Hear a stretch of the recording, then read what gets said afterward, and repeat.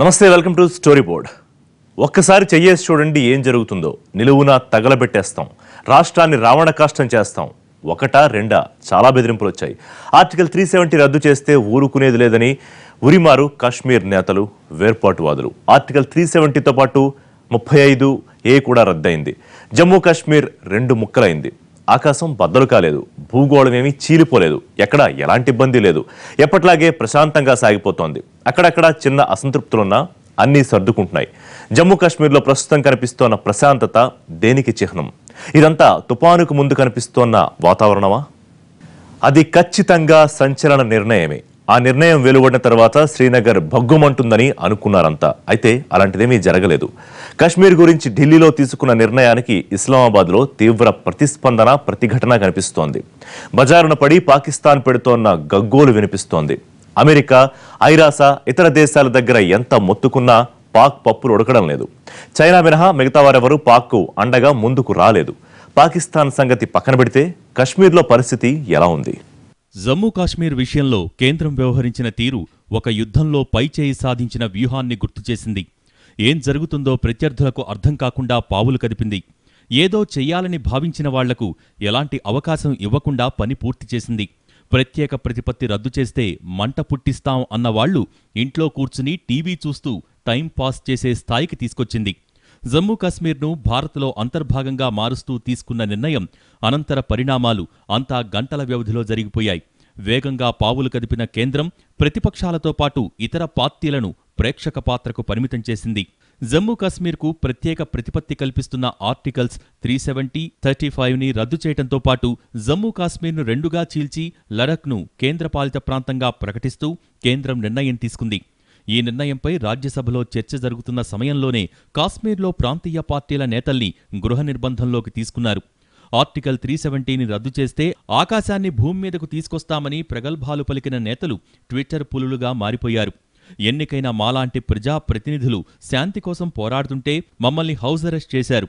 కశ్మీర్ ప్రజల గొంతును ఎలా నొక్కుతున్నారో ప్రపంచమంతా చూస్తోందంటూ మెహబూబా ముఫ్తీ ట్వీట్ చేశారు. వాజ్పేయి బీజేపీ నేత అయినప్పటికీ కశ్మీరీలపై సానుభూతి చూపారు. వారి అభిమానాన్ని చూరగొన్నారు. ఆయన లేని లోటు మాకిప్పుడు కనిపిస్తోందని మరో ట్వీట్లో పేర్కొన్నారు. మెహబూబా ముఫ్తీతో పాటు మిగతా ఒమర్ అబ్దుల్లా ఫరూక్ అబ్దుల్లా వేర్పాటువాదులు యాసిన్ మాలిక్ మీర్వాయిజ్ ఉమర్ ఫరూక్ లాంటి వాళ్ళు కూడా ట్విట్టర్ లాంటి సామాజిక వేదికల మీద తమ ఆగ్రహాన్ని ఆక్రోశాన్ని వెళ్ళగక్కారు. ఆర్టికల్ త్రీ సెవెంటీ రద్దయిన తర్వాత కాశ్మీర్ తగలబడుతుందని తగలబెట్టేస్తామని డైలాగులు కొట్టిన నేతలంతా ఇళ్ళలోనే విశ్రాంతి తీసుకున్నారు. దీంతో పెద్దగా ఉద్రిక్త పరిస్థితులేమీ తలెత్తలేదు. కాశ్మీర్కు ప్రత్యేక ప్రతిపత్తి రద్దు చేసిన తర్వాత జాతీయ భద్రతా సలహాదారు అజిత్ దోవల్ అక్కడే రెండు రోజులు మకాం వేసి పరిస్థితుల్ని పర్యవేక్షించారు. ఎక్కడా ఎలాంటి అలజడి చెలరేకుండా చర్యలు తీసుకున్నారు. బిల్లుకు రాష్ట్రపతి ఆమోదముద్ర పడ్డ తర్వాత జమ్మూ కాశ్మీర్ను భద్రతా బలగాలు పూర్తిగా తమ అదుపులోకి తీసుకున్నాయి. వన్ ఫార్టీ ఫోర్ సెక్షన్తో పాటు కర్ఫ్యూ ఎక్కడికక్కడ బ్యారికేడ్లు అడుగడుగునా సీఆర్పీఎఫ్ జవాన్లను మోహరించడంతో ప్రజాజీవనం స్తంభించిపోయింది. సామాజిక సమాచార పౌర సమాచార వ్యవస్థ పూర్తిగా ఆగిపోయింది. జమ్మూ లేహ్లో ఎలాంటి ఇబ్బంది లేకపోయినా శ్రీనగర్ మాత్రం తుపాకీ నీడకు వెళ్ళిపోయింది రెండు రోజుల తర్వాత ఈద్ సందర్భంగా కర్ఫ్యూని కాస్త సడలించారు. మసీదుల్లో ప్రార్థనలు చేసుకునేందుకు శుక్రవారం అనుమతించారు. అయితే చారిత్రక జామా మసీద్ తెరుచుకోలేదు. ఈద్ ఉల్ అజా సందర్భంగా ప్రజలకు రక్షణ కల్పించడంతో పాటు వారికి నిత్యావసరాలు అందేలా అధికారులు తగిన ఏర్పాట్లు చేశారు. కర్ఫ్యూని సడలించటం నిషేధాజ్ఞలు ఎత్తివేయటంతో పరిస్థితులు ఒక్కొక్కటిగా కుదుటపడ్డాయి. పాఠశాలలు తెరుచుకున్నాయి. పిల్లలు స్కూళ్ళకు వెళ్ళడం మొదలైంది. ఇంటర్నెట్ కేబుల్ లాంటి వ్యవస్థల్ని పునరుద్ధరించారు. జమ్మూ కాశ్మీర్లో చాలా ప్రాంతాలలో పరిస్థితులు సాధారణ స్థితికి వచ్చినా బాగ్ ఏ మెహతాబ్ నతీపుర రాంబాగ్ బర్జుల్లా నూర్బాగ్ వంటి చోట్ల స్థానిక యువత భద్రతా బలగాలపై రాళ్ళు విసరటం వంటి ఘటనలు జరిగాయి. ఆంక్షల్ని సడలించడంతో దుకాణాలు తెరుచుకున్నాయి. రాష్ట్రంలో మిగతా ప్రాంతాల్లో కొంత మెరుగ్గా ఉన్నా కాశ్మీర్లో ఆంక్షలు కొనసాగుతున్నాయి. ఆర్టికల్ త్రీ సెవెంటీ రద్దు బిల్లుపై చర్చ సమయంలోనే ప్రభుత్వం కాశ్మీరులకు ద్రోహం చేస్తోందని భారత ప్రభుత్వం ఇచ్చిన హామీని దుర్మార్గంగా రద్దు చేస్తోందని కాంగ్రెస్ నేత ఆజాద్ విరుచుకుపడ్డారు. ఆయన రెండుసార్లు సొంత రాష్ట్రం వెళ్ళేందుకు ప్రయత్నించినా అధికారులు ఎయిర్పోర్ట్ నుంచే వెనక్కి పంపారు. కాశ్మీర్లో పర్యటించేందుకు వెళ్ళిన రాహుల్ బృందానికి ఇదే పరిస్థితి ఎదురైంది. శ్రీనగర్ వెళ్ళిన రాహుల్ సహా ఇతర ప్రతిపక్ష నేతల్ని అధికారులు ఎయిర్పోర్ట్ నుంచే ఢిల్లీకి తిరిగి పంపించివేశారు. ఆర్టికల్ త్రీ సెవెంటీ రద్దు తర్వాత ఏ రాజకీయ పార్టీ నేతను కూడా జమ్మూ కాశ్మీర్లో పర్యటించడానికి అనుమతించలేదు. తాజాగా సిపిఎం జాతీయ కార్యదర్శి సీతారాం ఏచూరి సుప్రీంకోర్టు అనుమతితో శ్రీనగర్లో అడుగుపెట్టారు. జమ్మూ కాశ్మీర్లో మళ్ళీ ఆంక్షలు విధించారు. శుక్రవారం ప్రార్థనల దృష్ట్యా ఈ నిర్ణయం తీసుకున్నట్టు అధికారులు తెలిపారు. కశ్మీర్ లోయలోని పలు ప్రాంతాలలో వన్ ఫార్టీ ఫోర్ సెక్షన్ విధించారు. గత ఇరవై ఆరు రోజులుగా కశ్మీర్లో పరిస్థితి ఇలాగే ఉంది. ప్రజా రవాణా మార్కెట్లు మూతపడ్డాయి. కొన్ని ప్రాంతాల్లో ఫోన్ సర్వీసులపై ఆంక్షలు సడలించినప్పటికీ మరికొన్ని ప్రాంతాలలో కొనసాగుతూ ఉన్నాయి. భారత army chief general Bipin Rawat శ్రీనగర్లో పర్యటించారు. ఆర్టికల్ త్రీ సెవెంటీ రద్దు తర్వాత ఆయన కశ్మీర్కు వెళ్ళడం ఇదే తొలిసారి. ఇన్నాళ్ళు చేసిన అరాచకం ఆగిపోయిందనా? తీవ్రవాదాన్ని ఎగదోసే కుట్రలపై వేటుపడిందనా? వేర్పాటువాదులకు వేల కోట్లు చెల్లించి రగిలించిన అశాంతి అణిగిపోయిందనా?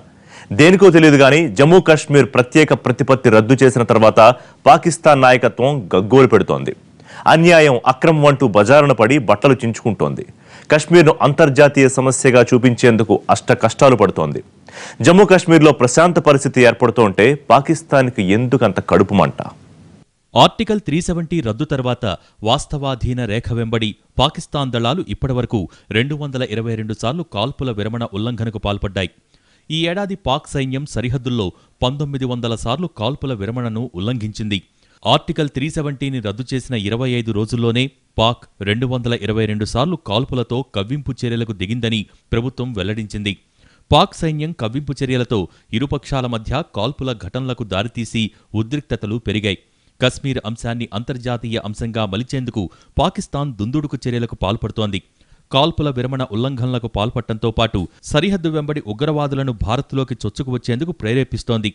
పాక్ ఆగడాల్ని భారత సేనలు ధీటుగా తిప్పికొట్టడంతో నిరాశలో కూరుకుపోయిన పాక్ తన కుయుక్తులకు పదును పెడుతూనే ఉంది. కశ్మీర్ అంశంపై భారత్ను ఇరుకున పెట్టాలనే ఉద్దేశంతో పాకిస్తాన్ అంతర్జాతీయ సమాజం మద్దతు కూడగట్టేందుకు శతవిధాలా ప్రయత్నిస్తోంది.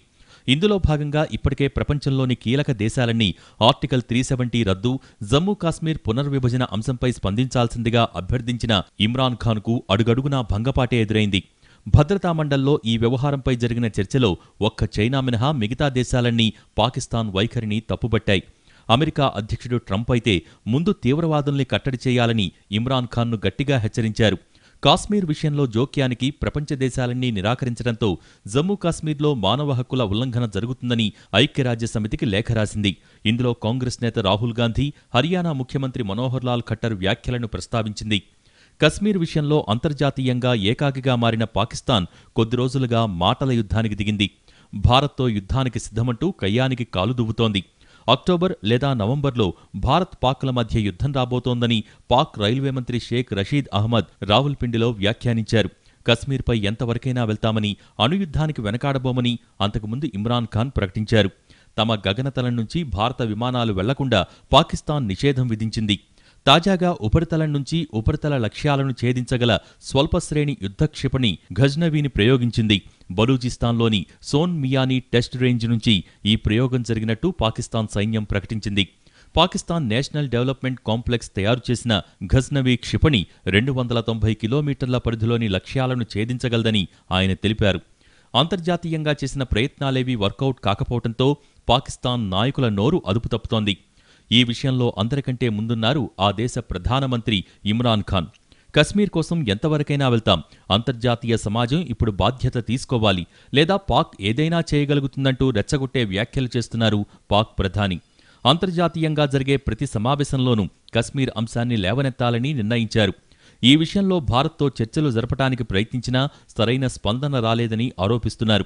భారత్లో ఎన్నికల తర్వాత ఏర్పడే ప్రభుత్వంతో చర్చలు జరపవచ్చని భావించారని అయితే మోడీ ప్రభుత్వం ఆర్టికల్ త్రీ సెవెంటీ రద్దుతో చారిత్రాత్మక తప్పు చేసిందని అక్కసు వెళ్ళగక్కారు. కాశ్మీర్ కోసం పాకిస్తాన్ ప్రజలంతా ప్రతి శుక్రవారం అరగంట సేపు నిల్చుని నిరసన తెలపాలని తమ దేశ ప్రజలకు పిలుపునిచ్చారు. ఆర్టికల్ రద్దు తర్వాత పాకిస్తాన్ ఉగ్రవాదులు పాకిస్తాన్ సైన్యం సహకారంతో భారత్లోకి చొరబడేందుకు ప్రయత్నాలు చేశారు. దీంతో ఇరు దేశాల మధ్య పలుసార్లు కాల్పులు జరిగాయి. ఆగస్టు ఐదు నుంచి నేటి వరకు పది మంది పాకిస్తాన్ కమాండోలను హతం చేసినట్టు భారత భద్రతా దళాలు వెల్లడించాయి. మూడు వారాలుగా పాకిస్తాన్ సైన్యం భారత భూభాగంలోకి చొరబడటానికి ప్రయత్నిస్తోందని పాకిస్తాన్ ఉగ్రవాదులను వెనక్కి పంపే ప్రయత్నంలో కాల్పులు జరిపినట్టు అధికారులు తెలిపారు.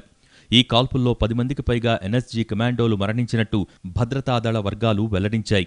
దీంతో ఈ ఘటనను పాకిస్తాన్ ఆర్మీ అంతర్జాతీయం చేయాలని చూస్తున్నట్టు అధికారులు వెల్లడించారు.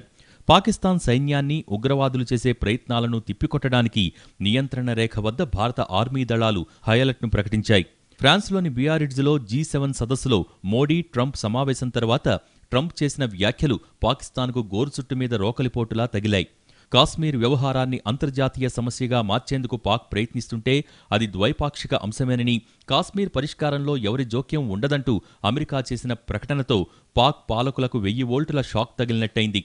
జీ సెవెన్ సదస్సు జరుగుతున్న సమయంలోనే ఫ్రాన్స్ రష్యా కూడా భారత వాదనకు మద్దతు ప్రకటించడంతో పాకిస్తాన్ ఏకాకిగా మారింది.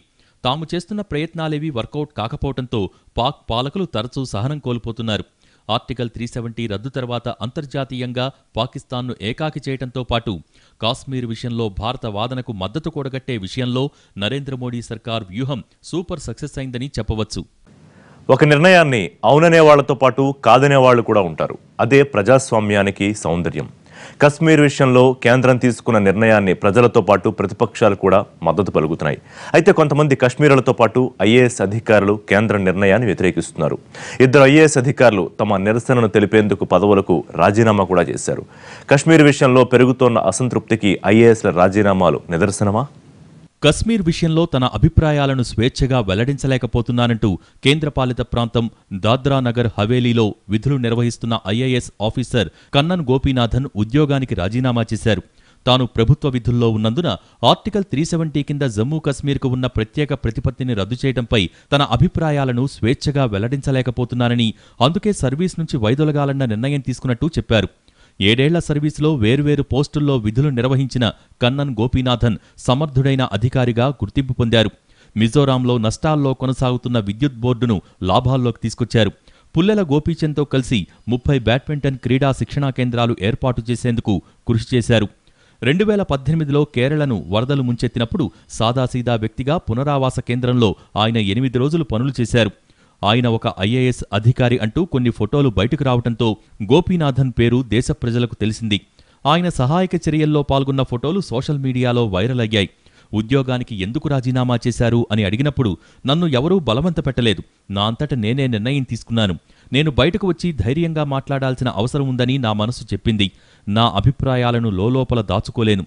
దేశంలో ఒక మూలన అనేక మంది ప్రజల ప్రాథమిక హక్కుల్ని కాలరాస్తుంటే కనీసం నా అభిప్రాయాల్ని వెల్లడించలేని పరిస్థితుల్లో విధుల్లో కొనసాగలేను. నా మనసు ఊరుకోవట్లేదని చెప్పారాయన.